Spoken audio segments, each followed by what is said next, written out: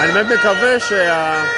שהטירוף הזה ייגמר, שהמדינה תחזור לידיים השפויות של העם ולא של 15 דיקטט... אנשים ששולטים בצורה דיקטטורית ורמיסת זכויות אדם בסיסיות של כל מה שמריח יהודי, של כל מה שמריח ציוני, כל מה שמריח אוהב ישראל, אוהב יהדות. ופה אנשים שטופי מוח, מוסתים, עברו אינדוקטרינציה קשה מאוד על תקשורת המיינסטרים. עברו אינדוקטרינציה קשה מאוד על ידי נבחרי ציבור מסוימים.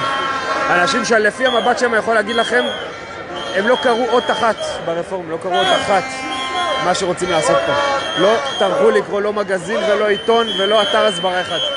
זה תמיד אותם סיסמאות, תמיד אותם מילים, שאנשים, שבן אדם בא להפגין והוא לא יודע על מה, זה מה שיוצא לו, דמוקרטיה, דמוקרטיה, דמוקרטיה, דמוקרטיה. הם מוזמנים לבקר את מדינות השכנות שלנו ולצעוק את זה שם. שם נראה לי קצת צריכים את הקריאות האלה.